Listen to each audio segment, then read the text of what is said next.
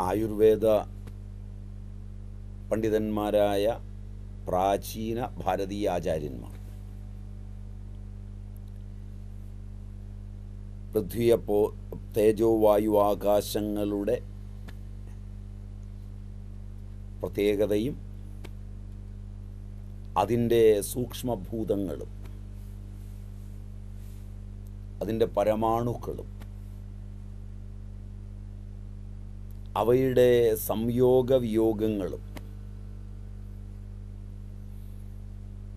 അതിനെ ആസ്പദമാക്കിയുള്ള പഞ്ചീകരണ വ്യവസ്ഥയും ദ്രവ്യങ്ങളുടെ നിലയുമൊക്കെ പഠിച്ച പൂർവികർ.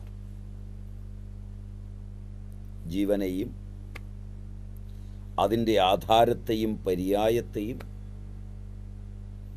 അത് രൂപപ്പെടുവാൻ ഉണ്ടായ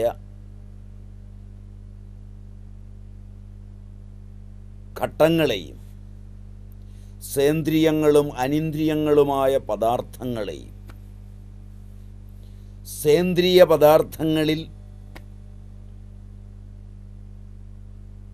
ജീവന്റെ പ്രത്യേകതകളെയും അനിന്ദ്രിയ പദാർത്ഥങ്ങളിലുള്ള പ്രത്യേകതകളെയും സേന്ദ്രിയങ്ങളായവയെ വച്ചുകൊണ്ട് വിഷയങ്ങളും ഇന്ദ്രിയങ്ങളും മനസ്സും ശരീരവും ആത്മാവും ചേർന്ന് ചികിത്സാ അധികൃത പുരുഷനെയും വർണിച്ചിട്ട്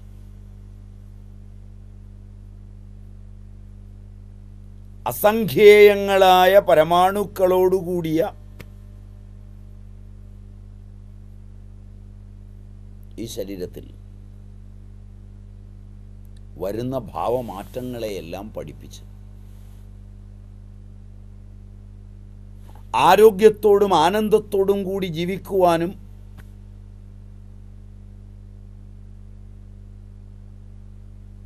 തദ്വാര മോക്ഷത്തിനായിക്കൊണ്ട് പ്രയത്നിക്കുവാനും.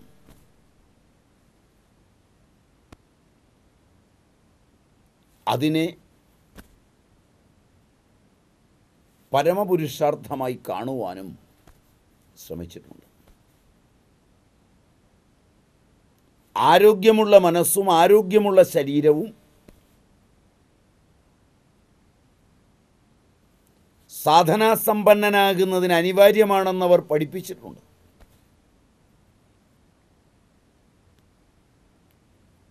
അതിന്റെ ഫലമായി ശാരീരികങ്ങളും മാനസികങ്ങളും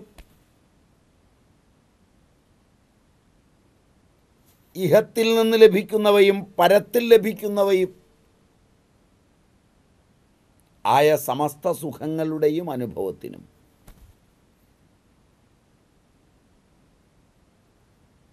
ധർമ്മത്തിനും അർത്ഥത്തിനും കാമത്തിനും എന്നല്ല പരമപുരുഷാർത്ഥമായ മോക്ഷത്തിനും. ആരോഗ്യം അനിവാര്യമാണെന്നുള്ള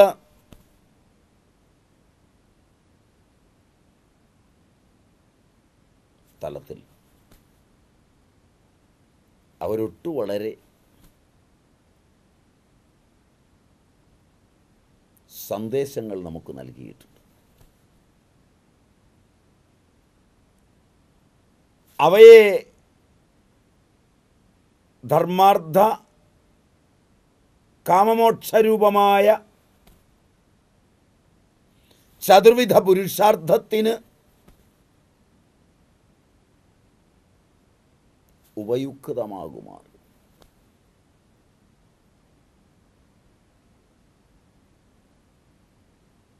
അതിന് സാധനമെന്ന നിലയിൽ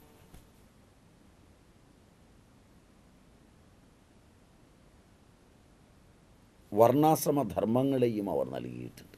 ചതുർവിധ രൂപമായ വർണങ്ങളെയും ആശ്രമധർമ്മങ്ങളെയും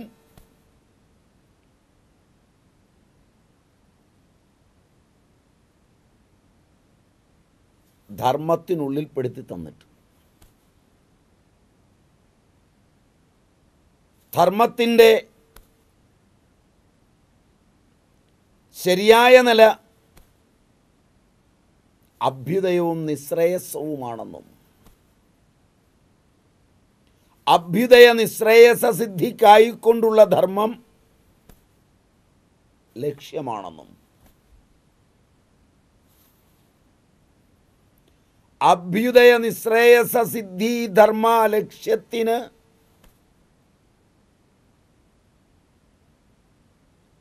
മാർഗം വർണാശ്രമ വിധാനമാണെന്നും കാണിച്ചു തന്നിട്ടുണ്ട്.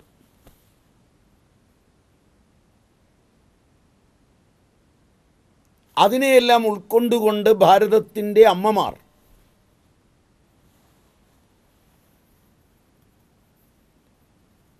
കാമത്യാഗം കൊണ്ട് പരിപൂർണരായി. പൂരിതമായ മനസ്സോടുകൂടിയവരായി.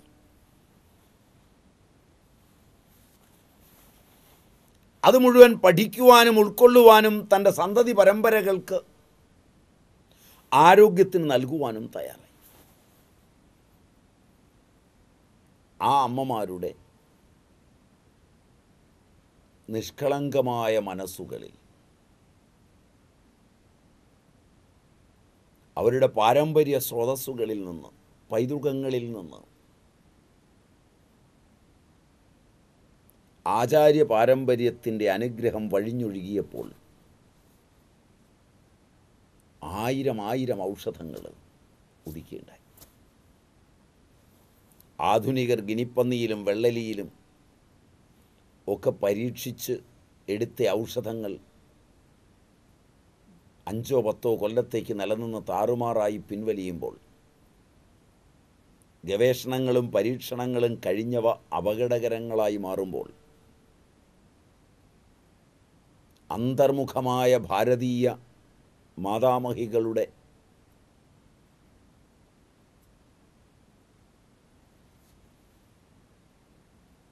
ഉള്ളിൽ അതീവ ലളിതമായി ഉദിച്ചുയർന്ന ഔഷധങ്ങൾ. നൂറ്റാണ്ടുകളുടെ പ്രയോഗം കൊണ്ട് ചാരുവായി സനാതനമായി നിലനിൽക്കുന്ന കാഴ്ചയാണ് നാം കാണുന്നത്. താരതമ്യത്തിന് അർഹിക്കാത്ത വിധത്തിൽ.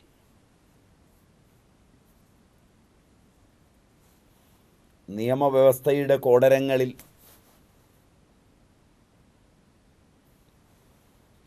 നൂറ്റാണ്ടുകൾ നിലനിന്ന ഔഷധ പാരമ്പര്യത്തെ മുഴുവൻ ഇന്നുപയോഗിക്കണമെങ്കിൽ ലക്ഷോപലക്ഷം വരുന്ന ഗനിപ്പന്നികളെയും വെള്ളലികളെയും കൊന്നു പരീക്ഷിച്ചിട്ട് മാത്രമേ ആകാവൂ എന്ന് ശഠിക്കുമ്പോൾ തിരിഞ്ഞൊന്ന് നോക്കി. നൂറോ അതിലധികമോ വർഷത്തിന്റെ പാരമ്പര്യം വരുന്ന ഗിനിപ്പന്നികളെയും വെള്ളലികളെയും കൊന്ന് ഭൗതികമായി രൂപപ്പെടുത്തിയെടുത്തിയ ഔഷധങ്ങളും അവയുടെ പ്രയോഗവും എവിടെ നിൽക്കുന്നു?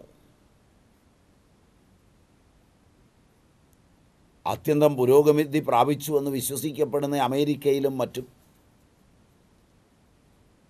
ഇൻഷുറൻസ് ഇല്ലെങ്കിൽ ഒരു സാധാരണക്കാരന് ഈ രോഗം ചികിത്സിക്കാൻ കഴിയുന്നുണ്ടോ എന്നെങ്കിലും ചിന്തിക്കേണ്ടതാണ്.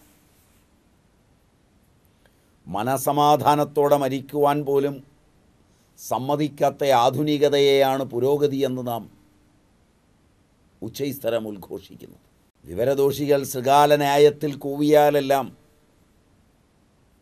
ജ്ഞാനമായി എന്ന് ധരിക്കുന്നവരുണ്ടാവും. പക്ഷെ ചിന്തിക്കുന്ന ലോകം അത് സമ്മതിച്ചു കൊടുത്തേക്കില്ല.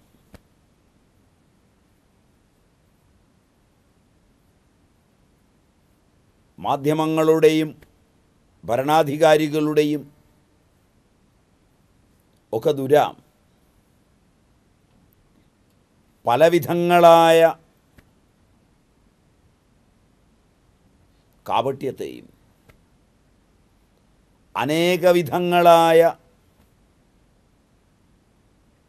കളവിനെയും സത്യമായി ജൽപ്പിച്ചാലും അവയ്ക്കൊന്നും സത്യത്തിന്റെ മുഖമുണ്ടാവില്ല. ഇത്തരുണത്തിലാണ് പ്രാചീന ഭാരതീയ ദർശനങ്ങളെ ഉപജീവിച്ചുകൊണ്ട് നമ്മുടെ മാതാക്കൾ ശ്രദ്ധേയങ്ങളായി ഔഷധങ്ങൾ രൂപപ്പെടുത്തിയിട്ടുള്ളത് ജ്വരമാണ് നാം പറഞ്ഞു വന്നത്. പലവിധ ജ്വരങ്ങളെ നാം കണ്ടു.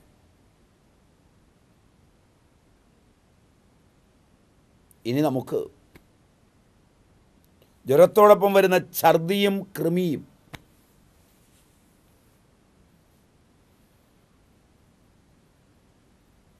അതും കൂടി കാണാം. വിഴാലരി. ലന്തക്കുരു. ത്രിഫലത്തോട് ഇവ ശീലപ്പൊടിയാക്കി തേനിൽ സേവിച്ചാൽ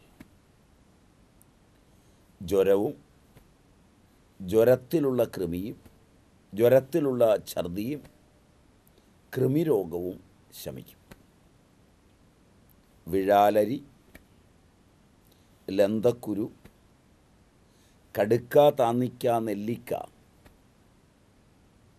ഇവയെല്ലാം കൂടി പൊടിച്ച് ശീലപ്പൊടിയായി അരിച്ചു വച്ച് തേനിൽ സേവിച്ചാൽ ജ്വരം ജ്വരത്തിൽ വരുന്ന ഛർദി കൃമിരോഗം ഇവ ശമിക്കും. ഛർദിക്ക് കൃഷ്ണാദി ചൂർണം നല്ലതാണ്.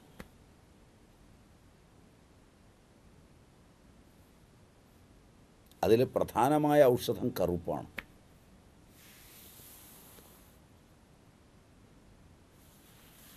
ഒരു കഴഞ്ച് കറുപ്പ്. ഒരു കഴഞ്ച് ജാതിക്ക. മൂന്ന് കഴഞ്ച് ഗ്രാമ്പു. മൂന്ന് കഴഞ്ച് ഏലത്തരി. നാല് കഴഞ്ച് വീതം തിപ്പലിയും അയമോദകവും. അഞ്ച് കഴഞ്ച് ജീരകം. ആറ് കഴഞ്ച് കഞ്ചാവ്.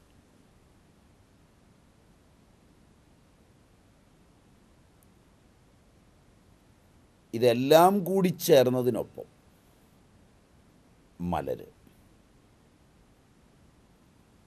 ഇതിലിപ്പോൾ ഇന്ത്യയിൽ നിരോധിച്ചിട്ടുള്ള സാധനങ്ങളാണ് കറുപ്പും കഞ്ചാവും.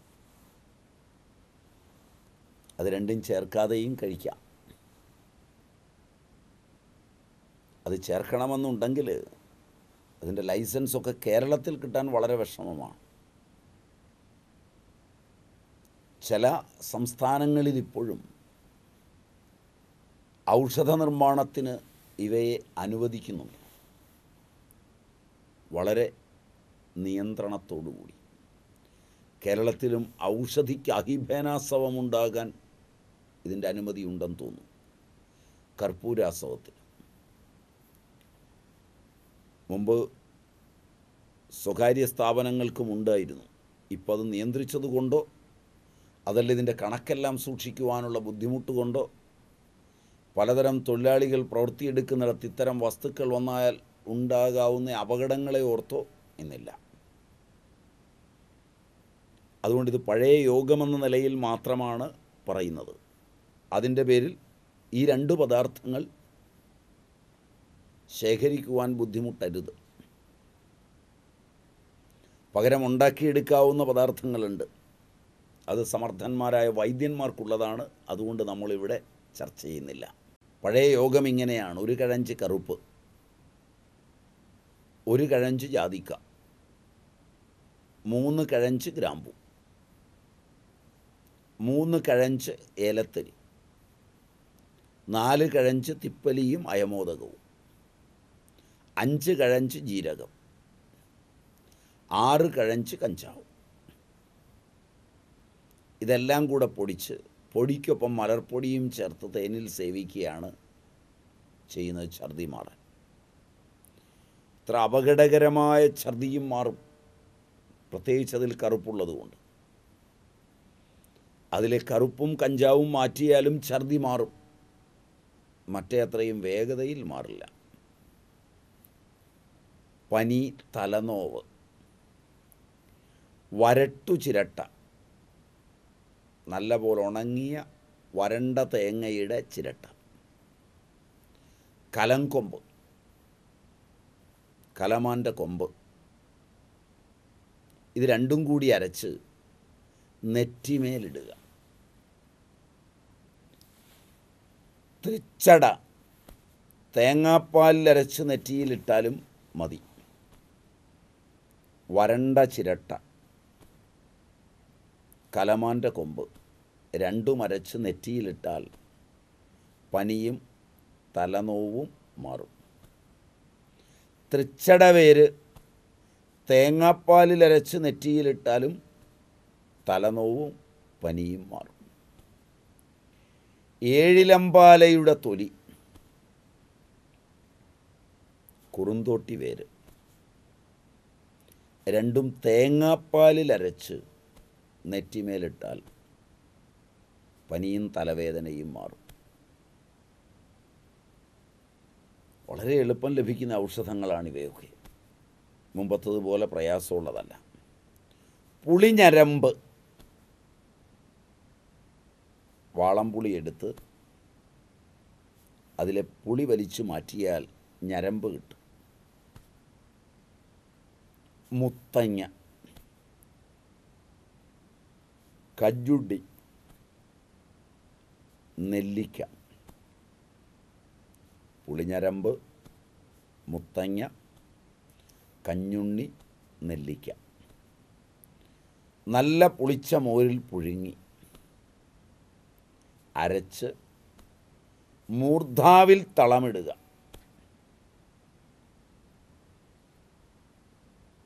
തലവേദന മാറും. പനിയും മാറും. കലമാന്റെ കൊമ്പും രുദ്രാക്ഷവും വിളഞ്ഞ തേങ്ങയുടെ ചിരട്ടയും. മുമ്പേ കലമാന്റെ കൊമ്പും ചിരട്ടയുമാണ് പറഞ്ഞത്. ഇത് കലമാന്റെ കൊമ്പും വരണ്ട തേങ്ങയുടെ ചിരട്ടയും രുദ്രാക്ഷവും കൂടി മുലപ്പാലിലരച്ച് നെറുകയിൽ തളമിടുക. തലവേദനയും പനിയും പോകും. കുമിഴിന്റെ ഇല.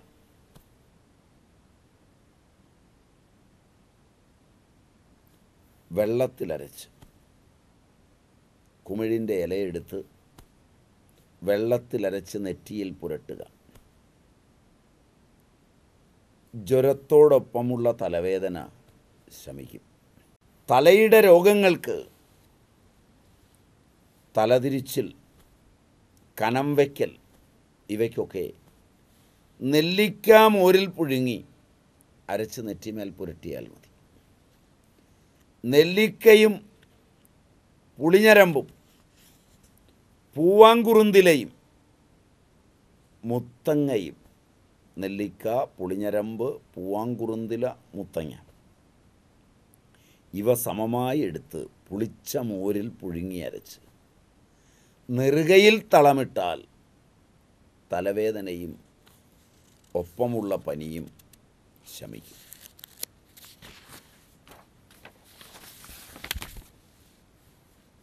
നെല്ലിക്ക നന്നായി മോരിലരച്ച് തലയ്ക്ക് ധാര ചെയ്താലും തലവേദനയും പനിയും ശമിക്കും. അരുചി. പനിയിൽ കാണുന്ന ഒരു വലിയ പ്രശ്നമാണ് അരുചി രുചിയില്ലായ്മ അരോചകം എന്നും പറയും. ആമ്ര പല്ലവാദി കഷായം ഇതിന് നല്ലതാണ്. മാവിന്റെ തളിരില ഞെട്ട് കൂവളവേര് മലര് ചുക്ക് കരിമ്പ്.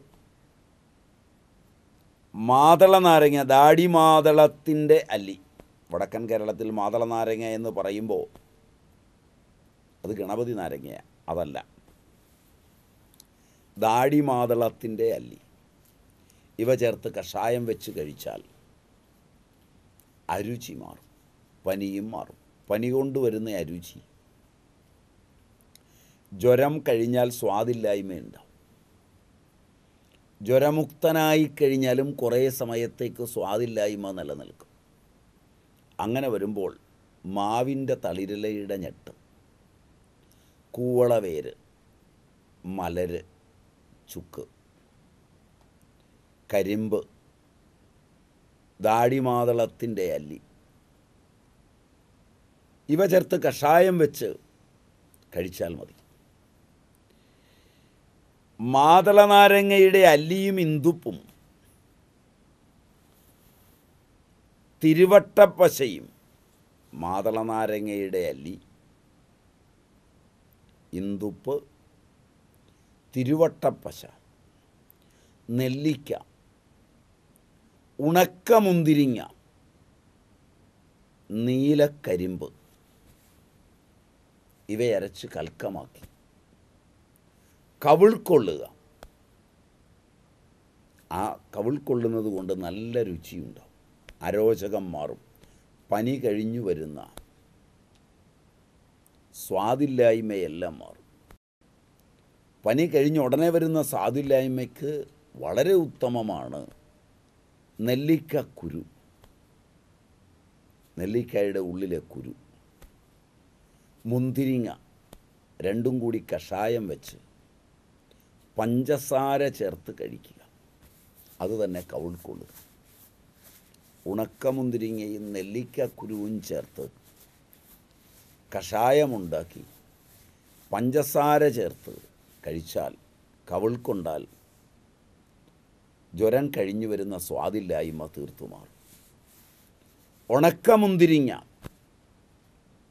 നെല്ലിക്ക ഇവയരച്ച് നെയ്യ് ചേർത്ത് കവിൾക്കൊള്ളുക അരുചി മാറും. അത് തന്നെ നെല്ലിക്കയും ഉണക്കമുന്തിരിങ്ങയും തന്നെ അരച്ച് നെയ്യ് ചേർത്ത് വായിൽ പുരട്ടുക. ഇവയരച്ച് നെയ്യ് ചേർത്ത് നല്ലപോലെ ഉരസി വായിലെ വെള്ളം കളയുക. തകട്ടി തകട്ടി വരുന്ന വെള്ളമുണ്ട്. അത് ഉരസിയാൽ മാറും ആ ഉമിനീർ.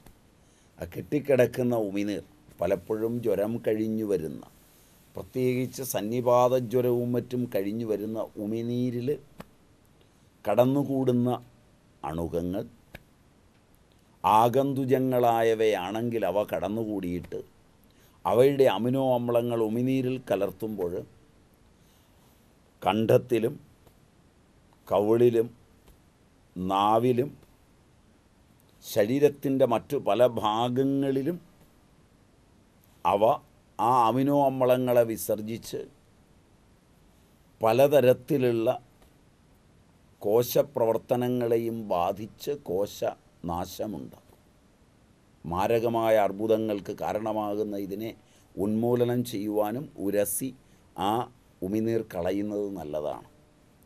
ഏവം വിധങ്ങളായ ഔഷധങ്ങളെ. അത്യന്തം ശ്രദ്ധയോടുകൂടി നമുക്കായി വിവരിച്ചു തന്ന നമ്മുടെ പ്രിയങ്കരരായ അമ്മമാരുടെ പാവനപാദങ്ങളിൽ നമുക്ക് ഭക്തിപൂർവം പ്രണമിക്കാം.